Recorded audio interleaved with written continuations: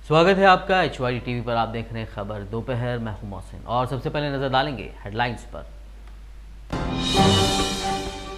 कल हो सकता है टीआरएस मंत्रिमंडल का विस्तार। केटीआर और हरीश राव को मंत्रिमंडल में शामिल ना किए जाने की है खबर।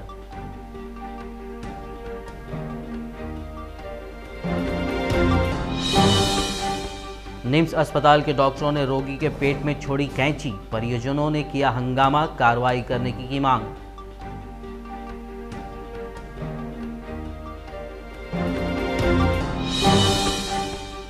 अरुणाचल पहुँचे प्रधानमंत्री नरेंद्र मोदी। 4000 करोड़ रुपए से अधिक लागत वाली कई योजनाओं का किया उद्घाटन।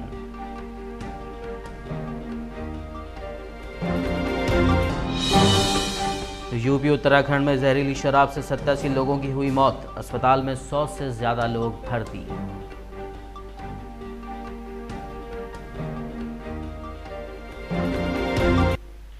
और अब समाचार विस्तार से। मुख्यमंत्री के चंद्रशेखर राव 10 फरवरी को मंत्रिमंडल का विस्तार कर सकते हैं। विलंब से किए जा रहे मंत्रिमंडल में 10 से 15 विधायकों को मंत्री पद मिल सकता है। बताया जा रहा है कि इस बार पार्टी के दो मुख्य नेताओं को मंत्रिमंडल में जगह ना दी जा रही है। इस सिलसिले में देखिए एच टीवी की ये खास रिपोर्ट। तेलंगाना में विधानसभा चुनाव को होकर लगभग दो महीने बीत जाने के बावजूद अब तक केसीआर ने मंत्रिमंडल का विस्तार नहीं किया है। इसके चलते कई विधायक मंत्रिमंडल में शामिल होने का इंतज़ार कर रहे हैं। सूत्रों का कहना है कि मंत्रिमंडल के विस्तार को लेकर मुहूर्त भी तय कर लिया गया है। कल रविवार को वसंत पंचमी को मुख्यमंत्री शुभ मान रहे हैं। पहले चरण के मंत्रिमंडल में 10 से 15 विधायकों को शामिल किया जा सकता है।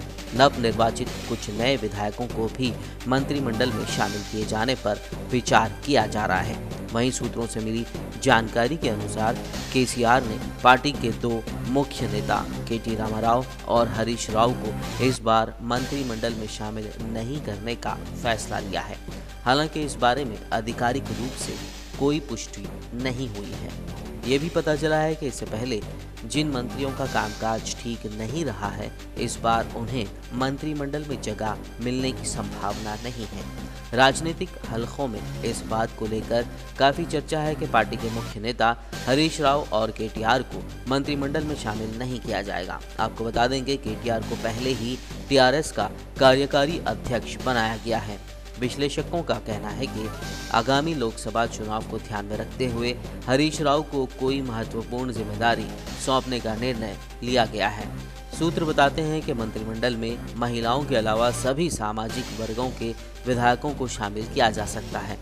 Bureau report H Y Lok Sabha चुनाव की तैयारियों के संबंध में तेलंगाना कांग्रेस कमेटी ने 11 और 12 फरवरी को विभिन्न समितियों की बैठकों का आयोजन किया है। तेलंगाना कांग्रेस के अध्यक्ष उत्तम कुमार रेड्डी के अनुसार ये बैठक गांधी भवन में होगी, जिसमें चुनाव के लिए उम्मीदवारों की प्रक्रिया के अलावा चुनाव अभियान की समीक्षा की जाएगी। 11 फरवरी के दिन 11 बजे कांग्रेस जिला अध्यक्षों की कमेटी की मीटिंग होगी, जबकि एक बजे मीडिया कोऑर्डिनेटर्स कमेटी और शाम चार बजे चुनाव समिति की मीटिंग आयोजित की जाएगी। इसी तरह 12 फरवरी को चुनाव तैयारियों के सुझाव प्राप्त किए जाएँगे। इस बीच पार्टी ने 10 से 12 फरवरी तक लोकसभा टिकट के लिए आवेदन जमा करने का फैसला किया है। बताया जा रहा है कि 10 फरवरी से कांग्रेस के उम्मीदवार तेलंगाना के 17 लोकसभा क्षेत्रों के लिए टिकट आवेदन कर सकते हैं। अपने जोक्स में अक्सर आपने सुना होगा कि डॉक्टर मरीज़ के पेट में कैंची भूल गया है। लेकिन हैदराबाद नगर में स्थित निम्स अस्पताल में डॉक्टरों द्वारा एक रोगी के पेट में कैंची भूल जाने का मामला हकीकत में सामने आया है। ये लापरवाही का मामला तब प्रकाश में आया जब एक महिला रोगी ने पेट दर्द होने की शिकायत के बाद निजी अस्पताल का रुख किया। प्राप्त जानकारी के अनुसार हैदराबाद निवासी महेश्वरी चौधरी का तीन महीने पहले पंजागुट्टा स्थित निम्स में एक ऑपरेशन किया गया था। महेश्वरी ऑपरेशन के बाद भी पेट में लगातार दर्द होने की शिकायत कर रही थी। इसके चलते परि, परिजनों ने रोगी को निजी अस्पताल ले जाए जहाँ पर अस्पताल में रोगी का एक एक्सरे कराया गया। इस दौरान उसके पेट में कैंची पाई गई। ये देख रोगी के परिजन निम्स गए और अस्पताल के सामने प्रदर्शन पर उतर आए। साथ ही उन्होंने इस घटना के लिए जिम्मेदार डॉक्टरों के खिलाफ कड़ी कार्रवाई करने की मांग की है। हैदराबाद नगर में 50 माइक्रोन से कम के प्लास्टिक बैग की बिक्री पर पाबंदी के बावजूद बेचे जा रहे प्लास्टिक थैलियों के खिलाफ जीएचएमसी ने कार्रवाई करते हुए बेगम बाज़ार की चार दुकानों को सील कर दिया। जीएचएमसी के विजिलेंस और एनफोर्समेंट विभाग ने इस कार्रवाई के दौरान दुकान मालकिन पर भारी जुर्माना भी लगाया। और वहां मौजूद 50 माइक्रोन से कम वाली प्लास्टिक की थैलियों को जब्त भी कर लिया जेएचएमसी की ओर से अचानक की गई इस कार्रवाई से बेगम बाजार में हलचल मच गई और दुकान वालों ने अपने पास मौजूद सामान को दूसरी जगह भेजना शुरू कर दिया इस सिलसिले में जीएचएमसी ने 12 दुकानों को नोटिस भी दिया है जीएचएमसी का कहना है कि इस तरह की कार्रवाई आगे भी जारी रहेगी షాప్లో ఇల్లీగల్గా గవర్నమెంట్ మున్సిపల్ వాళ్ళు బ్యాన్ చేసిన అట్లాంటి ప్లా- ప్లాస్టిక్ అమ్మే వాళ్ళకి గతంలో నోటీస్ ఇచ్చినారు ఎంతమంది వాళ్ళు గవర్నమెంట్కి మున్సిపల్ వాళ్ళకి రాసి ఇచ్చినారు మేము మళ్ళొకసారి చేయం. వాళ్ళకి సపోర్ట్ చేస్తున్నారు ఎవరు రాసి ఇవ్వలేదు మళ్ళొకసారి వాళ్ళు అమ్ముతున్నారు వాళ్ళకి దాదాపు ఒక నాలుగు షాపులు ఐదు షాపులు ఇవాళ ఎన్ఫోర్స్మెంట్ డైరెక్టర్ గారు సీజ్ చేసినారు. नेशनल यूनानी डे के अवसर पर मौलाले इलाके के 138 डिवीज़न के मरीजों में निशुल्क दवाइयाँ वितरण की गई। इस प्रोग्राम में टीआरएस के मलकाजगिरी विधायक एम हनुमंत राव, कॉरपोरेटर फातिमा अमीनुद्दीन के अलावा यूनानी अस्पताल के डॉक्टर्स और अन्य कर्मचारियों ने भाग लिया। इस अवसर पर स्थानीय लोगों ने बड़ी संख्या में डॉक्टर से अपनी जाँच करवाई। तिरुमला तिरुपति देवस्थानम में बालों की नीलामी हुई। तिरुमला में हर महीने की पहले गुरुवार को बालों की नीलामी की जाती है। इसी क्रम में गुरुवार को बालों की नीलामी की गई। नीलामी के दौरान कुल एक लाख तिरालीस हज़ार नौ सौ किलोग्राम बालों की बिक्री की गई। इसके ज़रिए भगवान बालाजी को 11 करोड़ 17 लाख रुपए की आय प्राप्त हुई है। आपको बता दें कि विश्व की सबसे अधिक आमदनी वाले तिरुमला तिरुपति देवस्थानम में हर रोज हज़ारों की संख्या में भक्त मन्नत पूरी करने आते हैं। इस दौरान कुछ भक्त अपने बालों को भगवान बालाजी को समर्पित भी करते हैं। बाद में इन बालों की नीलामी की जाती है। प्रधानमंत्री नरेंद्र मोदी ने शनिवार को अरुणाचल प्रदेश में 4000 करोड़ रुपए से अधिक लागत वाली कई योजनाओं का उद्घाटन किया और कई महत्वपूर्ण परियोजनाओं की नींव रखी। मोदी ने होल्लोगी में ग्रीन फ़ील्ड हवाई अड्डे की नींव रखी और लोहित ज़िले के तेजू में एक पुनः संयोजित हवाई अड्डे का उद्घाटन किया। उन्होंने अरुणाचल प्रदेश के लिए एक नए दूरदर्शन चैनल, डीडी अरुणा प्रभा का भी उद्घाटन किया। मोदी ने आईजी पार्क में आयोजित एक समारोह में रिमोट के ज़रिए 50 स्वास्थ्य एवं कल्याण केंद्रों का उद्घाटन किया। लोगों को संबोधित करते हुए पीएम ने कहा, अरुणाचल उगते सूरज वाला राज्य है, ये देश का आत्मविश्वास है। पिछली सरकारों ने दशकों तक इस राज्य की उपेक्षा की है, लेकिन हम यहाँ बदलाव लाएँगे। आज मैं अरुणाचल प्रदेश को सौभाग्य योजना के तहत करीब करीब हर परिवार तक बिजली पहुँचाने वाला राज्य बनने के लिए बहुत बहुत बधाई देता हूँ। मुख्यमंत्री जी को बधाई देता हूँ, उनकी पूरी टीम को बधाई देता हूँ। आज अरुणाचल ने जो हासिल किया है, वो बहुत ही जल्द पूरे देश में भी हासिल होने वाला है। सौभाग्य योजना के तहत बीते एक डेढ़ साल में ही देश में करीब ढाई करोड़ परिवारों के घरों उन घरों से अंधेरे को मिटाया गया है, दूर किया जा चुका है। मुफ़्त में बिजली का कनेक्शन दिया जा चुका है।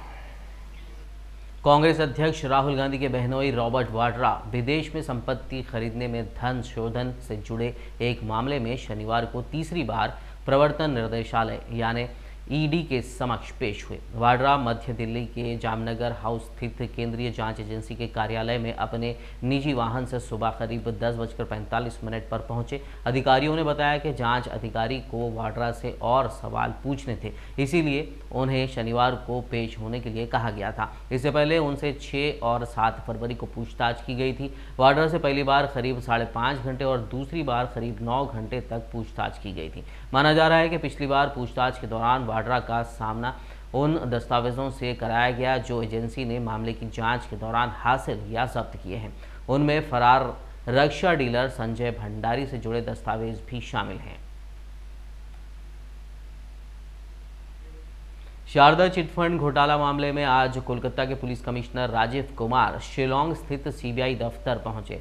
आज उनसे घोटाले के संबंध में पूछताछ की जा रही है। कुमार के साथ तीन अन्य आईपीएस अधिकारी भी इस समय उनके साथ थे। वहीं सीबीआई की टीम शनिवार सुबह शिलोंग पहुँची थी। कुमार पर घोटाले से जुड़े दस्तावेजों को नष्ट करने के आरोप लगे हैं और इसी मामले में उनसे पूछताछ की जा रही है। बता दें कि उच्चतम न्यायालय ने राजीव को जाँच एजेंसी के साथ पूरा सहयोग करने का निर्देश दिया है। अधिकारियों ने बताया कि सीबीआई उन्नीस बैच के आईपीएस अधिकारी कुमार से इसीलिए पूछताछ करना चाहती है क्योंकि वो शारदा एवं अन्य पौजी घोटाला मामले की जाँच के लिए गठित एसआईटी के प्रमुख थे When he is in Shillong, he will be coming. That's quite natural. Guide it, Aguna. Please, please, please. Are you prepared enough? Are you prepared please. enough? Are you prepared enough to face, to face the interrogation? I'm sorry. I'm sorry. I'm, I'm, not, I'm not going to answer these questions. I am not going to answer these questions. I am his advocate. I, I am a professional, I am a professional advocate. Please don't. Please don't ask me all these questions. UP Uttarakhand के सहारनपुर और उससे सटे रुड़की के लिए शुक्रवार का दिन बेहद मनहूस साबित हुआ दोनों जगह सतासी लोगों पर जहरीली शराब मौत बनकर टूटी तो 120 लोगों की हालत अब भी गंभीर बनी हुई है। सहारनपुर ज़िले के कई गाँवों में जहाँ देर रात तक 44 लोगों की मौत हो चुकी थी, ये आंकड़ा शनिवार को और बढ़कर बासठ तक पहुँच गया है। करीब चार दर्जन से ज़्यादा लोग अस्पतालों में भर्ती हैं। वहीं कई लोगों की हालत मेडिकल अस्पताल मेरठ में नाजुक बनी हुई है। इस बड़ी लापरवाही पर नागल थाना प्रभारी सहित 10 पुलिसकर्मी और आबकारी विभाग के तीन इंस्पेक्टर के अलावा दो कांस्टेबल को सस्पेंड कर दिया गया है। वहीं रुड़की के झबरेड़ा और भगवानपुर थाना क्षेत्र के गाँव में भी जहरीली शराब ने 25 लोगों की जान ले ली है। शराब पीने से अब तक जो है आठ मौतों की पुष्टि हुई है। इसमें ग्राम जबी दयाल के दूधनाथ नामक व्यक्ति गोपालगंज साइड से नदी उस पार से हरेंद्र यादव के यहाँ से शराब लाता था, देसी शराब। और वो वहाँ पर अपने गाँव में लोगों को वितरित किया था। साथ ही उसी के द्वारा एक दूसरा गाँव, जो बेदूपार है, वहाँ के रामनाथ शाह को सप्लाई किया गया था। उसके यहाँ बर्थडे पार्टी थी, वहाँ उसने सबको पिला दिया था। उसी शराब को, जिसमें वह खुद भी पिया था, और रामनाथ शाह भी, वो भी, उसकी भी मृत्यु हो गई है। कल यहाँ पे एक तेरहवीं थी, जिसमें बहुत से लोग शामिल थे कुछ बताया जा रहा है जो ऐसे भी थे जो तेरहवीं में नहीं थे, उनकी भी डेथ हुई तो बहरहाल, अभी जो लोग बीमार हैं, उनको हम अच्छी से अच्छी जो मेडिकल फैसिलिटीज़ है, वो दे रहे हैं। कुछ लोग सिविल अस्पताल लड़की में हैं, कुछ आरोग्य में हैं, कुछ सहारनपुर में हैं। वहाँ भी हमारी बात हो गई है। और पोस्टमार्टम भी यहाँ पे करवाया जा रहा है ताकि पुष्टि हो सके एग्जैक्टली मृत्यु का कारण क्या है।